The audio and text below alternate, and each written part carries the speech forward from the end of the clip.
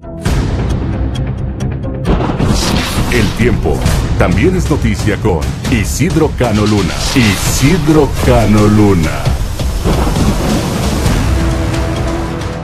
¿Qué tal? Qué gusto saludarles en este sábado 12 de febrero de 2022. Reciban un afectuoso saludo de Isidro Canoluna a través de esta su página. El tiempo también es noticia. Desde la mañana de este sábado, un frente frío de moderada extensión y desarrollo estará ingresando a la porción noroeste del Golfo de México y el mencionado sistema frontal viene impulsado por otra masa de aire polar continental bastante extensa que muestra máximos valores sobre el norte y el noroeste de los Estados Unidos. Este hecho estará estableciendo durante esta tarde y noche una moderada pendiente barométrica o diferencia de presiones atmosféricas hacia el territorio veracruzano, lo que estará dando lugar a cambio meteorológico a partir de esta tarde y noche en el norte de Veracruz y de esta noche al transcurso del domingo en la costa central veracruzana, su región montañosa y en el sur de Veracruz. Hoy las temperaturas todavía alcanzan a recuperarse en el norte de Veracruz, en Tuxpan, una máxima en 24 grados, en Poza Rica 26 grados, Martínez de la Torre y San Rafael 27 grados, en Tlapacoyan, Misantla y Papantla 25 grados, en Tecolutla y Nautla 24 grados, en Vega de Alatorre 25 grados. En general, durante la mañana con cielo parcialmente nublado, pero ya en la tarde y noche aumento de nublados con condiciones para lluvias, así como nieblas, sobre todo en la región de Tlapacoyan, Misantla y Papantla. Para el domingo las temperaturas descenderán de manera notable, alcanzando máximas solo entre los 13 y los 15 grados. En la región montañosa central, en Jalapa, Coatepec, Pico, Teocelo, Banderilla, una máxima para este sábado en los 21 grados. Aumento de nublados con lluvias en la tarde y noche, así como efecto de nieblas. En la zona de las altas montañas, en Orizaba, 21 grados en máxima. Aumento de nublados con condiciones para lluvias en la tarde y noche, además del efecto de nieblas, vientos moderados del este y sureste. En Córdoba y en Fortín una máxima en 23 grados, mayormente nublado. Condición para lluvias en la tarde y noche. No se descartan algunas tormentas eléctricas aisladas, así como nieblas nocturnas. Para el día domingo las temperaturas no irán más allá de los 13 a los 16 grados, persistiendo los nublados y las lluvias. En el puerto de Veracruz, Boca del Río, Alvarado, niebla y ambiente fresco al comenzar la mañana. El resto del día parcialmente nublado, con temperatura en los 26 grados. Sin embargo, de esta noche al transcurso de mañana estará aumentando la nubosidad. No se descartan algunas lluvias en dicho periodo. Vientos del noreste moderados, fijándose al norte en la noche, con velocidades en 40 a 50 kilómetros por hora, que para el domingo se van a intensificar con rachas